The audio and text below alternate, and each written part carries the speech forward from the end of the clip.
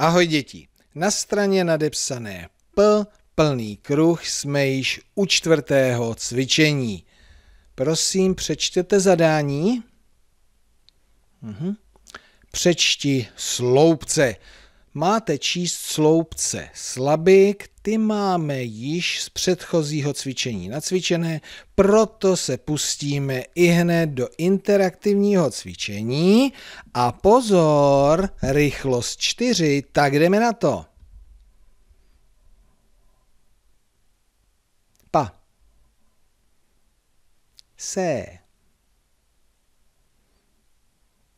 Le. Po. Sa. Pe. Pa. Mo.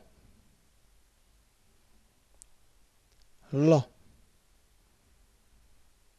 P. Výborně.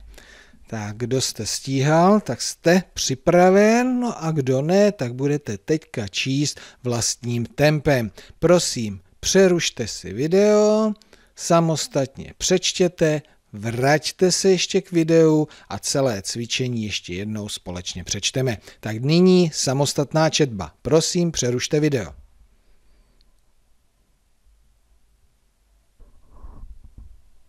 Výborně. A ještě pro kontrolu společná četba.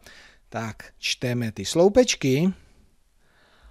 Pa, se, le, po, sa, pe, pa, mo, lo, pe.